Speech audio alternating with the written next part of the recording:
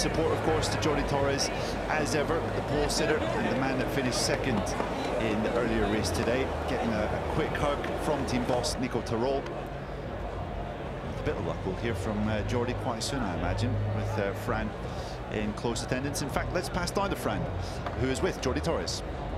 I am indeed. So I said, guys, keep it clean because who knows when you're together. But Jordi, great first race, not quite got enough for Matteo. Have you been looking at the data? What do you think you've got now in the second outing?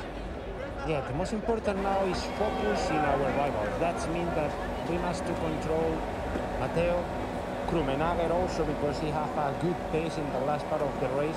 But for sure, we need to try something different during the race to, to adapt my riding style to be more faster at the beginning in the first point of when we touch the throttle on the exit of corner. We'll see what happens, but for sure we'll put everything.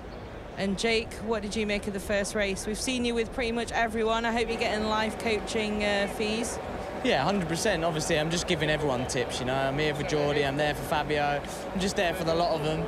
But uh, So you two out of two on podiums today? Exactly. Management's going well, so I'm going to talk to some teams for them all. Um, but no, it's good. Uh, I think he rode a fantastic first race. I just said to him if he has a good start, like he did in the last one, close the door a bit in corner 3-4, so uh, Matteo cannot come up the inside of him. Um, and if he can do that, I think then he can be there for, for the race, the whole the whole race. Let's see then. Thanks very much, guys. Best of luck, Jordi. Thank you. Thanks very much, Fran, and thanks to Jake Dixon and Jordi Torres down there on the grid. Yes, close the door into turn three and four. That's obviously where Matteo Ferrari made the race-winning overtake right at the start of race one will be interesting to see what this man can do because he was very much the coming force towards the end of the race earlier today. Randy Krummenacher coming through from the front of the second row. Uh, if he can start a little faster, he could maybe be up there with uh, both Ferrari and Torres. Well, yeah, you have to factor in that the Krummenacher finished less than a second off the victory in today's earlier race. He's certainly a contender for this one uh, now, and also he's got a bit of extra motivation. He is well on the chase of his teammate Hector Garzo in the championship standings. 91 points has the Swiss rider, the Spaniard, 93, just two ahead of him. So all to play for here. Just Go ahead, add to that, yeah, I was thinking in the first race, and he said, I mean, often riders will say, like, yeah, if I just got through the battle quicker, then I could have caught him. And it's like, well, yes, but that is the race. Uh, however, it seems very true of Krummenacher with that pace that he had late on. Maybe with the number of laps we'd had at the Sachsenring, we would have seen a final chicane dive. But uh, yeah, I think Randy could be interesting if he can get that start and have a bit of a cleaner first couple of laps to stick with the top two. Who I'm assuming may well once again be Jordi and Matteo. Could well be. I would certainly like to see uh, the, the likes of Casadei fight through from his more lowly grid position. What about Eric Granado as well, who really fell back in that first race, unfortunately. Three seconds off the win, hit the Brazilian was sixth place at the flag. We saw Mantovani on our screens earlier. He was fifth in today's race. Pons, another one. He starts from seventh on the grid, but in race one earlier on today, Neil, he fell back to 11th. Yep, he did. Disappointing, you would have to say, for Miquel Pons, who just hasn't quite been uh, himself of previous years in this year's series so far. Still adapting, of course, to the uh, new Ducati machinery that we have. This man was probably the best starter of the entire lot on the grid. Kevin Zannoni rose from 8th up into 4th, I think, on the first lap, and then eventually dropped down to 12th at the end, but... Uh, or sorry, to 10th, I should say. But uh, fast starter is an only one to look out for off the start. Yeah, Hector Garzo, though, I do want to mention him. He uh, ended up starting from uh, 12th, well, sorry, he qualified 12th on the grid, um, and, well, stayed 12th on the grid, I should say. I was trying to factor in Casadei's uh, penalty, of course, as he got pole position yesterday, but an incorrect tyre pressure meant that he was bumped down. Garzo had a cracking race, 12th down to about 14th, then moved up to 7th. But let's see then, we're about to uh, head towards the front row for a little final look before we check out the full rundown of the grid. There is Torres with Dixon alongside him. This was Casadei, who technically qualified first, but then was demoted due to incorrect tyre pressure. What can he come up with from this one? Fourth in race one. What about here in race two?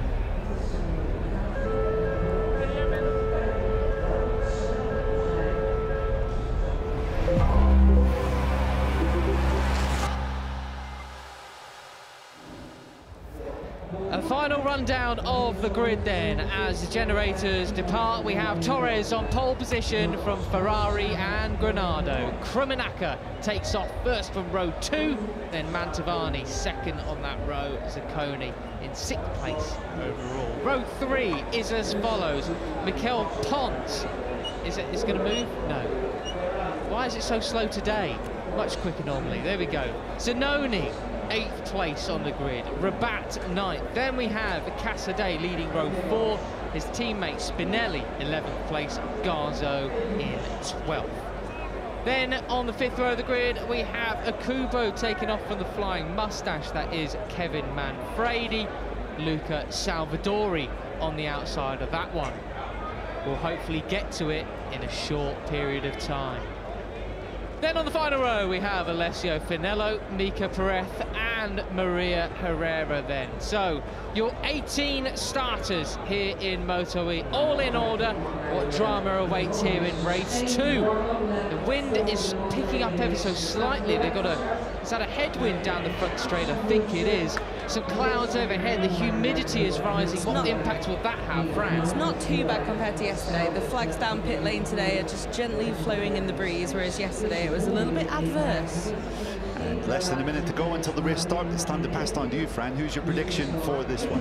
Um, okay, I'm going to play it safe and say race one winner Matteo Ferrari, but of course, as ever, hoping for the best race possible. Let's see what Torres can do with a bit of Dixon's advice. What about you guys? I'm going to go with Krummenacher. Krummenacher's a good shot. I think maybe uh, Eric Granado can find something between the races, inside of the front row. If he starts well, maybe we can see the Brazilian up there towards the front. Also a great thrilling shout. I'm yeah. very excited for this one now. I feel like it's going to be good. Yeah, I hope some people have done some homework in the few hours we've had between race one and race two. What can we're looking at Eric Granado on our screens there. I know all of Brazil will be behind him. Might have been an early start for them, watching him over some very early breakfast uh, in over our lunchtime race. But this afternoon, far more leisurely period of time on a Saturday afternoon for them to cheer him on. Well then, we await for the silence to break. You can hear the cheers of the fans still sticking around to watch this Moto E race two then. We will await the red flag to wave at the front of the grid. There is Garzo with a cracking ride earlier on from 12th on the grid up to 7th. What more can he do this afternoon? Fighting for that top three spot in the championship, I remind you. The red flag departs. We await the starter's orders. The lights go red, and we will be off racing. Lights out, away we go. Moto E Race 2 in Assen. It's a cracking start from it. Uh, looks like Eric Granado could well be getting the whole shot, but no. Torres supreme on the brakes. Granado stops in the second place. Ferrari in third. And is that Krummenacher in fourth? I think it is, Neil. I think it is, yeah. Kevin Zannoni another great jump off the line. He's up to fifth Casadei, who's risen from 10th up to 7th. Ah, oh, brilliant, brilliant stuff from Casadei already then. As Granado shoves Ferrari wide. He does not want to be bogged down like he was in race one. Got truly beaten up, did the Brazilian. Onto the back straight we come then for that first time. There we have Garzo versus Mantovani. Positions 8th and 9th. That's a great start from Garzo. Good job from him. Yeah, Casadei's already got up to 6th. He's disposed with Miquel Pons in the first sector of this first lap. So four positions for Casadei in the first half a lap. We've got to hand it to Kevin Zannoni. Much better keeping that a solid start than he did in race one. Not quite plummeting back through the field like he did beforehand. Ooh. Careful of the goals. We do not want any. And Phillip Island Iannone repeats. Ladies and gentlemen. Oh, who's that in the background? That looks like a bike could be.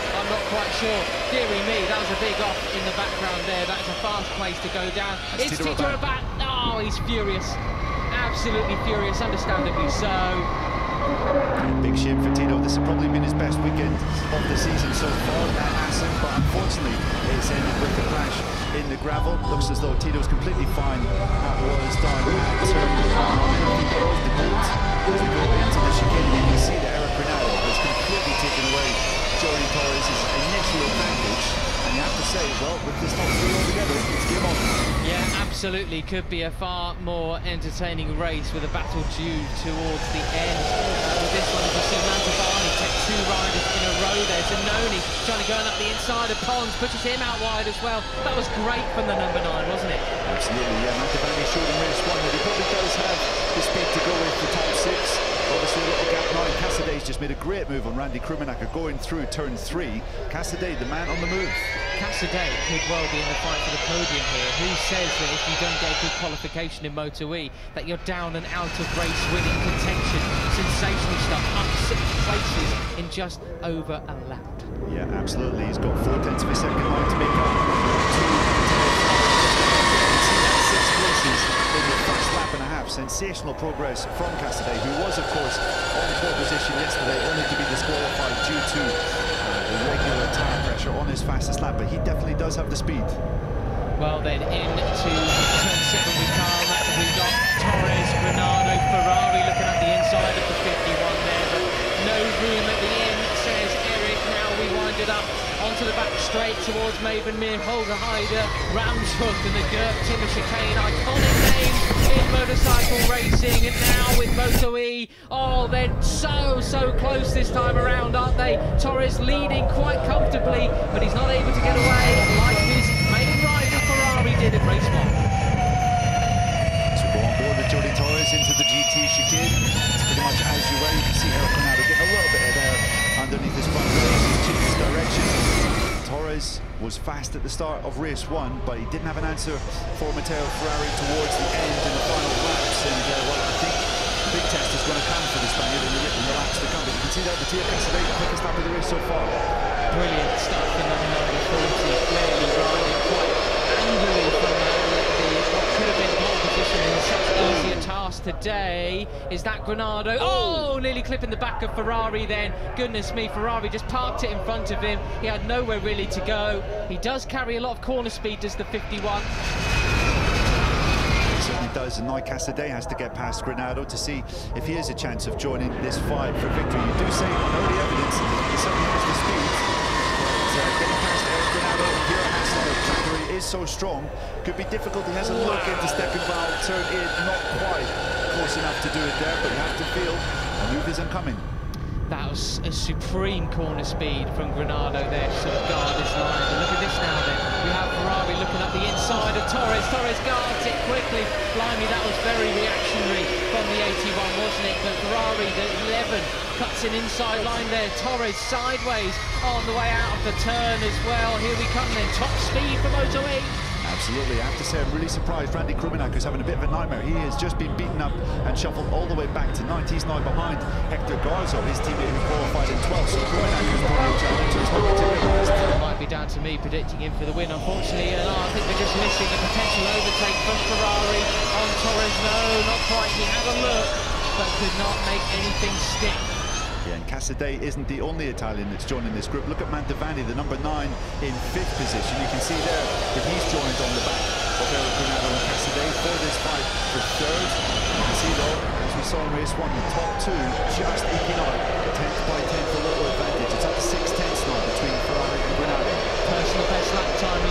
around from Ferrari, a full 140.6.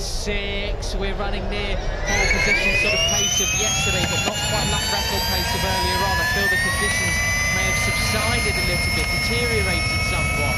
But down the back straight we come. Ferrari in the slipstream. Will he look up the inside? He thinks about it. Wow, it's so fast through there. Turn six into turn seven. Goodness me. So, so close there.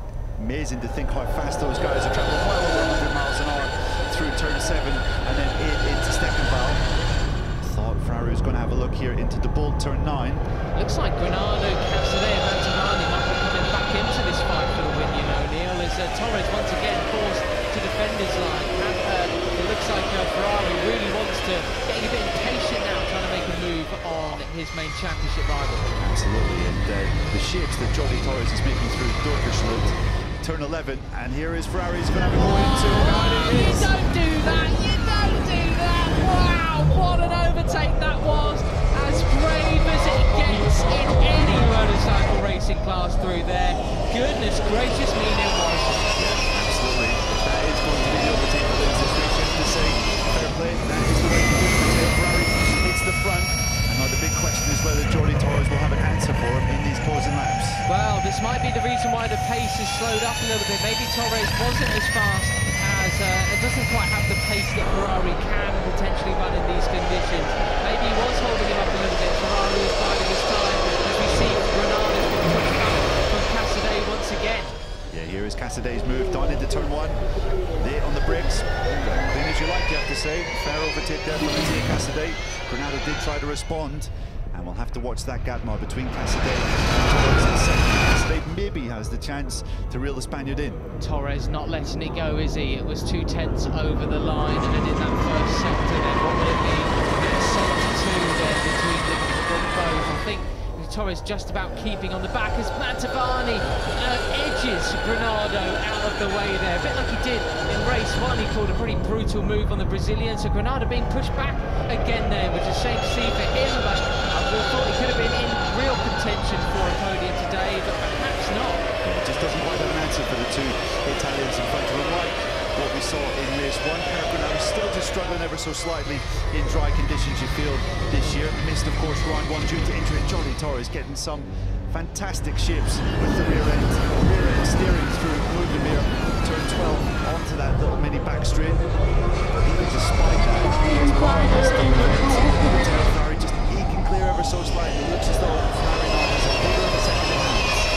Been a quarter of second consistently in the last few sectors then, so will he be able to latch back on? Because that's not very much, to be honest. It's enough that if you really hang it out in that final sector of the final lap, you could catch up enough to make a lunge at the final corner, and then it's a matter of whether he actually wants to do that at this stage of the game and risk no points at all. Evanson is having a good ride. He's sixth. He's managed to get onto the back of the and a four and five for third now. I do feel that uh, they're running out of time though. Casadei and Mantovani now nine tenths of a second between second place and third. It's pretty much a two-way fight for first and second here, Matt. I can't see Casadei getting back into.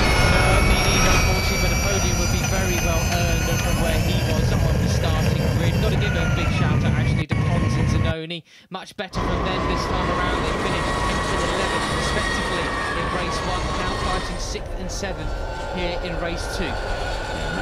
Can smell a podium here, can't he? He's looking quite ominous behind uh, Mattia Casadei. We did see in race one that he's not scared to put his bike underneath anyone on this grid. Casadei will have to be absolutely on top of his game to keep his compatriot behind. Certainly will, the number nine looking very, very good on the top form as we saw back in Mugello. He's not just a one-trick pony or a one-circuit pony. He's very good here at Assen as well. But Eric Granado, can he do anything about it as well? He's just losing ground a bit to the two Italians then. He could well have just them two breaking clear. Mantovani all over the back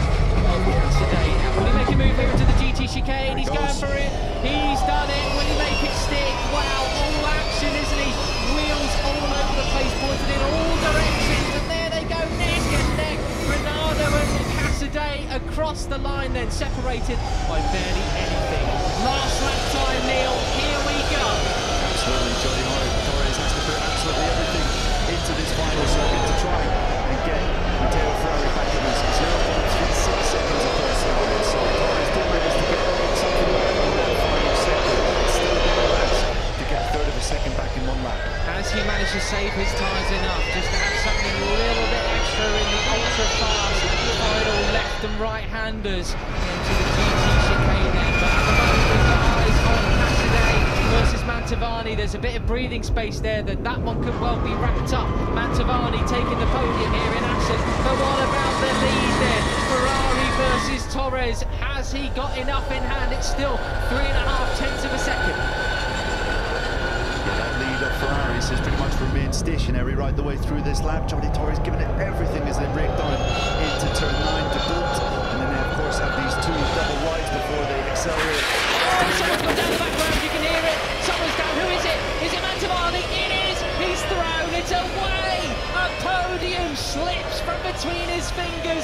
A disaster for Andrea, goodness me. But we switch our attention back to the lead. Absolutely, it's down to two tenths of a second. Can Jordi Torres get a good run through the Ramshoek and line himself up into the GT chicane for the final time? I think he's got enough in hand as Ferrari. This could be it then. He's going to take a double victory in Assen. It's going to be, or is it? Ferrari from Torres. He's done it. 11 from 81. Number 40, Casadei, fills out the podium. That was a great finish to a Moto E race. certainly was. There was uh, drama happening all around us there. From Mantovani's crash out of third to Jordi Torres getting within seven hundredths of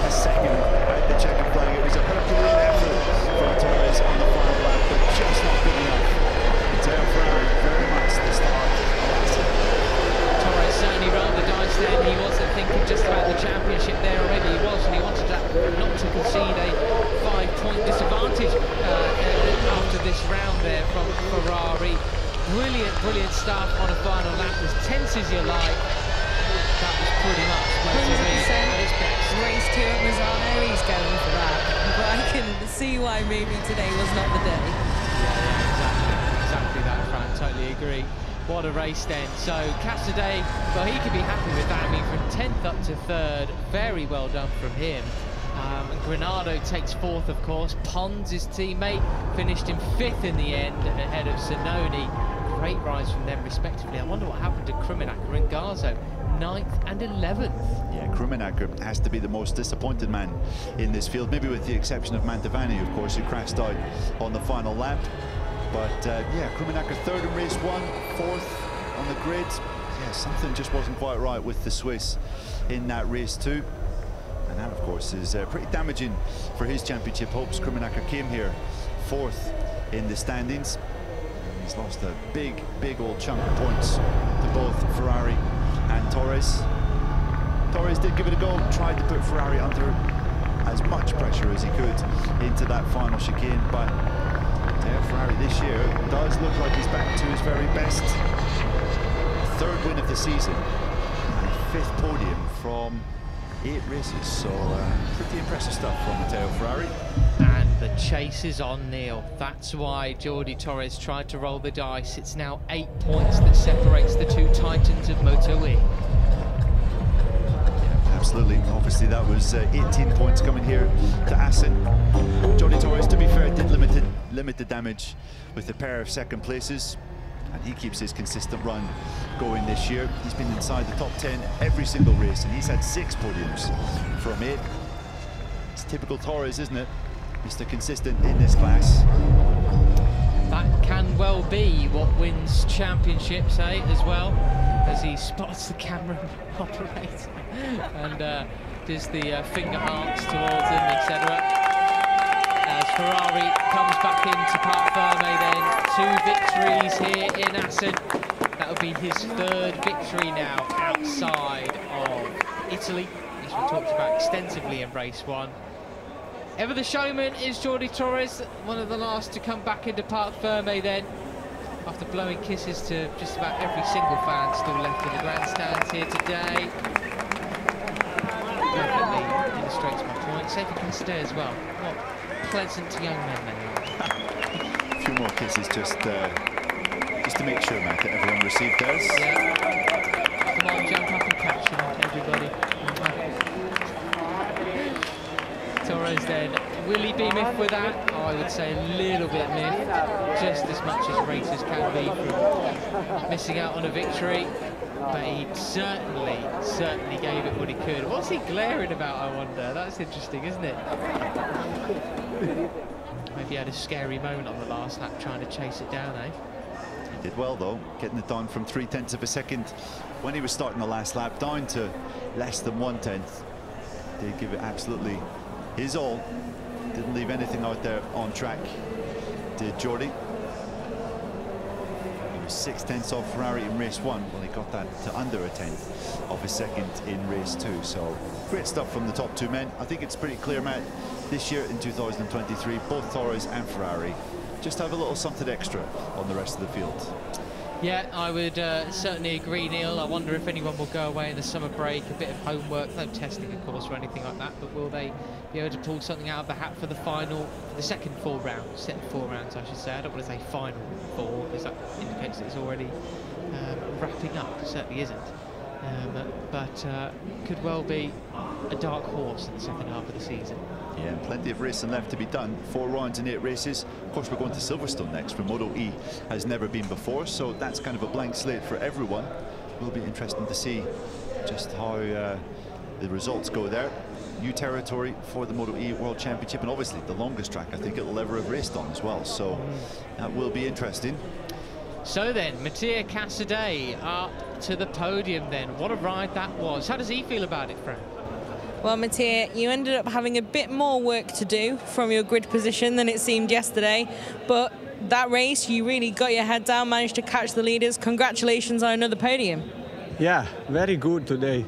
I push like a bastard because I start in P10, but uh, finally P3 this weekend. I'm uh, happy with this uh, result, but uh, not too much because if I start in front, uh, maybe I can battle for the win. But uh, very good points this weekend and uh, very good work. Now time to rest and uh, come back more stronger in Silverstone, and I'm very happy. We'll see you there. Bye.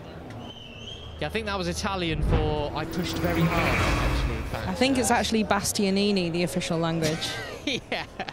He's, of course, very good friends with Enea Bastianini as well, isn't he, Casadei? Tatsuki Suzuki and Nicolo Bulega, who they refer to as Booby, all a great quartet. What about second place, though? Jordi Torres, he certainly rolled the dice. I want to know, how did he feel about it? Take it away, Frank. Well, Jordi, you got very, very, very close. In the final race of the season, were you going for that? What were you thinking, and how was it on the bike? Yes, this race is like uh, the final of the season, no? like you say, but uh, yes, during the race we have a little problem with the front tire, many vibrations. I try to manage this, but you know, I try to do less uh, speed in the middle of corner. Also, the bike, the comportment of the bike is uh, is working different. I try to adapt the more early than as possible. But uh, I know that maybe here in this track, uh, Ferrari have something more than me. I try to, to, to battle, to arrive close, but uh, yes, if I try something more, it's taking risks for the championship. But uh, yes, at the moment, we're right to the break, arriving first. This is always good. We, we can keep continuing in a, in a good way. Also, smiling, this is always good. And yes, we'll see in, when we return what happens. We will enjoy the summer as championship leader. Thank you. Always smiling, even on bad days. Jordi Torres is smiling. Moto E World Championship, lucky to have a character like him. You have to say, if he was having vibrations at the front of his bike, he was doing a pretty good job to ride around those issues. It certainly was. And uh, sterling job then for Jordi. That would explain why he was running such a defensive line for somebody to try to sort of cut off his mid-corner speed. But what about Ferrari then? Two wins here in Assen. What about it, Fran? Well, you're just saying no lap record, no pole position, but two victories not bad. I think that's completely true, Matteo. Really impressive round for you here. After we'd not seen you win outside of Italy before this season, now you seem like the man to be almost everywhere. Are you happy with that? And the gap being just eight points now. I work a lot this winter because uh, until last year, like you said, uh, I never win uh, outside Italy. So this year is better. Uh, the feeling with the team is incredible. We work really hard every time, and also I think for this race too, we did another step. Uh, unfortunately, I did a mistake during the free during the practice start, but uh, I recover. at the end, I I close all the all the door and I, I win. So really happy about that. really close to the first in the final standing. So happy and now a little break and see you in Silverstone. See you in Silverstone. Ciao. Ah, well, I wonder what uh, what Matteo Ferrari will make of the Northampton. Excellent. Be just as entertaining to find out his verdict of that. It's the centre of civilization, man. Centre of roundabout populations worldwide. Anyway, uh, there we go. That's unfair on Swindon. fair enough, Fran. Fair enough. Um, but yes, let's see. That's uh, Eric, uh, Eric Granado getting nerfed out the way by Ferrari. Then look at that, the finish. Ah, as close as you like, wasn't it? Brilliant. Really, really good. That's a classic Assen finish, that isn't it? Where you, you come into the final turn and one rider's ahead of the other. There's no lunge. You think, oh, he's got it. But then actually, as they're coming out, you think, oh, they're going to get the drive out. And no, no, no. Shades of my childhood there, seeing Fogarty and Slight, etc. in World Superbikes and hearing Keith Huewen going, Foggy! Um, that's what I think of every time I see that. One plus one, Assen. That Enel X Way charging pod potentially coming to a petrol station near you, maybe. I think that'd be a great marketing thing, that would, for Moto E. You can have that one for free, Enel X Way. Well, we await the podium then, while the debrief begins with Piero Taramasso and Jorge Martinez Aspar and Nicola Goubert in the left of our screen. You can see the Red Bull rookies, helpers and uh, mechanics taking their generators into pit lane. Red Bull rookies up next, not on MotoGP.com, but Red Bull TV and various broadcasters available where you are. What's this then? Well, this was the race when an overtake. Ferrari getting the drive through moving Movenbeer. Just managing to find a little gap on the run down to Heide. God, look at that. That right there, Neil, is what I love about motorbike racing. Pinned throttle, bit of lean angle, side by side, millimetres from each other, fighting for a win. That's what motorbike racing's about for me. Incredible. And they can have a drink now. They can. They were being very well behaved on the podium after race one. Determined not to get any of the uh, Prosecco on their leathers, of course. But uh, a swig of luck for, uh, for Ferrari too. And it paid off, didn't it, actually? So there we go then. Casadei out to the podium. Big boxes. I've never actually noticed this before. They're not your ordinary bottle of Prosecco, are they? Uh, for these guys to get stuck into. But Matteo Ferrari, the happiest man in the paddock currently after his third victory of the season, his 10th victory in the Moto E class. It's been a wonderful weekend for him as Paolo Betti, Moto E chief mechanic from Ducati Corse, presents the third place trophy to Mattia Casadei. Great ride from Casadei coming from 10th. Torres gets the second place one. I'm reliably informed they do actually have the correct sort of shade of colour on them. Bronze for third, silver for second, gold for first. Here it is then, the trophy for Matteo Ferrari. He can hear it from his team. The way, there we go. Two out of two for today for Ferrari. Ferrari wins in Assen. I will never get tired of those kind of headlines. Now then, time for the Italian national anthem for third time today,